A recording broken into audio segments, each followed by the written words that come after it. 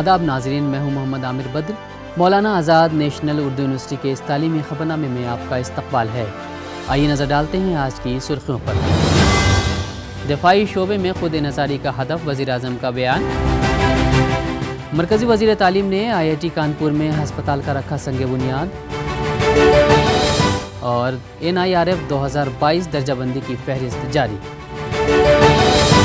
और अब खबरों की तफसी वज़ी अजम नरेंद्र मोदी ने कहा है कि दफाई शोबे में ख़ुद इसारी का हदफ इक्कीसवीं सदी के हिंदुस्तान के लिए बहुत अहम है।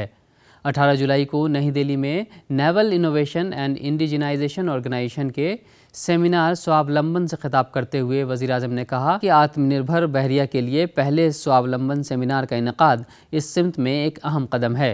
उन्होंने कहा कि जब हिंदुस्तान अपनी आज़ादी के 100 साल का जश्न मनाएगा तो हिंदुस्तानी बहरिया को बेमिसाल बुलंदियों पर ले जाना हदफ होना चाहिए। प्रोग्राम के दौरान वज़ी अजम ने स्प्रिंट चैलेंजेस की नकाब कुशाई की, जिसका मकसद भारतीय बहरिया में देसी टेक्नोलॉजी के इस्तेमाल को तकवीत देना है।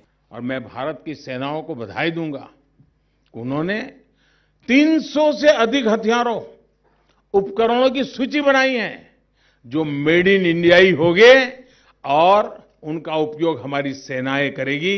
उन चीज़ों को हम बाहर से नहीं लेंगे। मैं इस निर्णय के लिए तीनों सेनाओं के सभी साथियों को बहुत बहुत बधाई देता हूँ। उन्होंने मजीद कहा कि ईशापुर राइफल फैक्ट्री में बनी हिंदुस्तान की हॉइजर्स और मशीन गनें बेहतरीन समझी जाती हैं। उन्होंने निशानदही की कि हिंदुस्तान इस मैदान में दुनिया का सबसे बड़ा दरामद कुनिंदा बन गया है। वज़ी अजम ने कहा कि पिछले आठ सालों में हुकूमत ने न सिर्फ़ दिफाई बजट में इजाफा किया है, बल्कि इस बात को भी यकीनी बनाया है कि ये बजट मुल्क में दिफाई मैनुफैक्चरिंग इको सिस्टम की तरक्की में कारआमद हो। मरकज़ी वजी तालीम धर्मेंद्र प्रधान ने 16 जुलाई को Indian Institute of Technology Kanpur campus में Gangwal school of medical sciences and technology और यदुपति सिंघानिया सुपर स्पेशलिटी अस्पताल का संग बुनियाद रखा। उन्होंने कहा कि इसका क़्याम मुल्क में सेहत की देखभाल के माहौलियाती निज़ाम और तहसील को मज़बूत करेगा। आईआईटी कानपुर में इस तरह की इंसान दोस्त कोशिशें सेहत और इंजीनियरिंग के शोबे के दरमियान फ़र्क को ख़त्म करेंगी। सस्ता तकनीकी हल फराम करेंगी और दूसरे मुखैर हजरात और तालीमी इदारों को भी माशरे की फ़लाह बहबूद के लिए इसी तरह के इदारे तैयार करने की तरगीब देंगी। आई आई टी कानपुर को आज मौसमियाती तब्दीली से लड़ने, फजला से दौलत की तख्लीक मुतबाद सब्ज़ तोानाई और सर्कुलर इकोनॉमी के लिए नए कारोबारी मॉडल तैयार करने के लिए मौसर और किफ़ायती हल तलाश करने की कोशिश करनी चाहिए। आई आई टी कानपुर माशरे की ज़रूरतों के तई हसास रहा है और आत्मनिर्भर भारत की तमीर में फ़ाल तौर पर ताउन कर रहा है। हमें आज़ादी के अमृत महोत्सव पे विशेष करके आगे की जो 25 साल हमारी प्रवास है, जर्निंग है, उस प्रवास के अंदर हमें समाज की ओर जिम्मेवारी लेके देश की नाम को और ऊपर करे, देश की लोगों की ज़िंदगी को और सहूलियत दें। इसी रिस्पॉन्सिबिलिटी को आज आप याद कर रहे हो। इसीलिए पुनः आप सभी को शुभेच्छा। बहुत बहुत धन्यवाद। नेशनल इंस्टीट्यूशनल रैंकिंग फ्रेमवर्क 2022 की दर्जाबंदी में मजमू तौर पर सरफहरिस्त दस इदारों में आईआईटी मद्रास सबसे पहले नंबर पर है। Indian Institute of Science Bengaluru दूसरे सबसे बेहतरीन यूनिवर्सिटी और आईआईटी मुंबई तीसरे मुकाम पर है।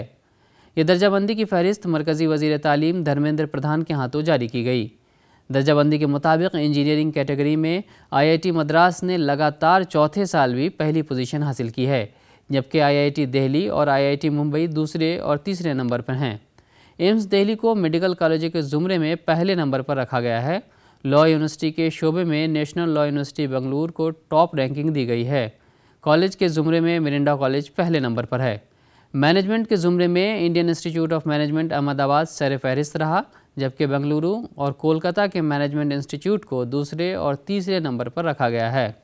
जामिया हमदर्द को मुल्क का बेहतरीन फार्मेसी इंस्टीट्यूट करार दिया गया है। यूजीसी के चेयरमैन एम जगदीश कुमार का कहना है कि एनआईआरएफ को 2016 में मुतारफ़ कराया गया था, जो तालीमी इदारों को उनकी खूबियों और कमज़ोरियों से आगाह करता है। और तलबा जान सकते हैं कि मुल्क में कौन सा इदारा सबसे बेहतर है।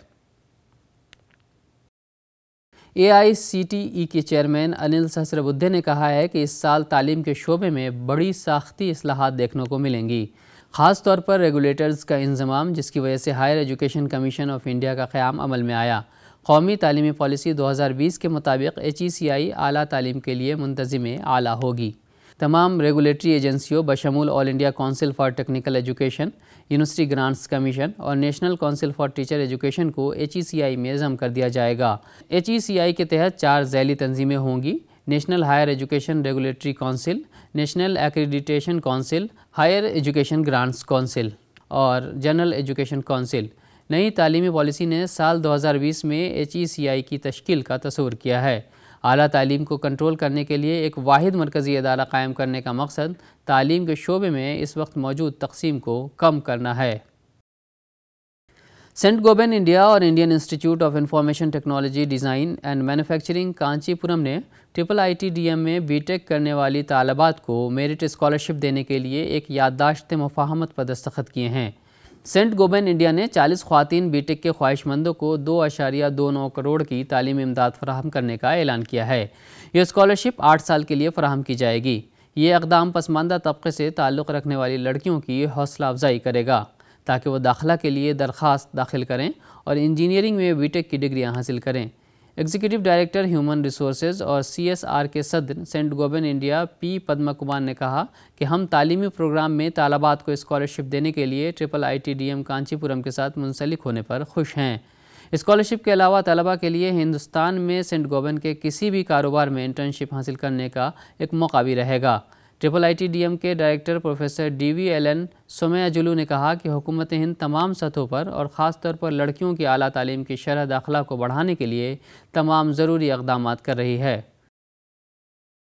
तेलंगाना हुकूमत ने प्रोफेसर वेंकट रमना को ट्रिपल आई टी बेसरा का इंचार्ज वाइस चांसलर मुकर करने के अहकाम जारी किए हैं।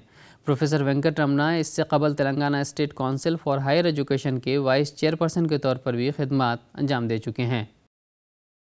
इस की अहलियत का मरकज़ी टेस्ट इस साल दिसंबर में होगा। सानवी तालीम के मरकज़ी बोर्ड ने बताया कि सी टेट का ये सोलहवा एडिशन मुल्क भर में 20 ज़बानों में कंप्यूटर पर मबनी टेस्ट की सूरत में मुनद होगा।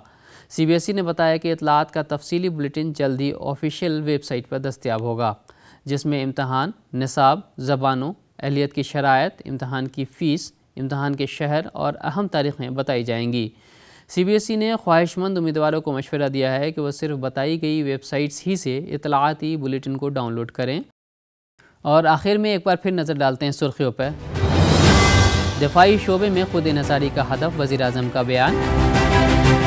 मरकज़ी वज़ीर तालीम ने आई आई टी कानपुर में हस्पताल का रखा संग बुनियाद। और एन आई आर एफ़ दो हज़ार बाईस दर्जाबंदी की फहरिस्त जारी। आज की खबरों में फ़िलहाल इतना ही। आइंदा बुलेटिन में आपसे फिर मुलाकात होगी। तब तक के लिए दीजिए इजाज़त, आदाब।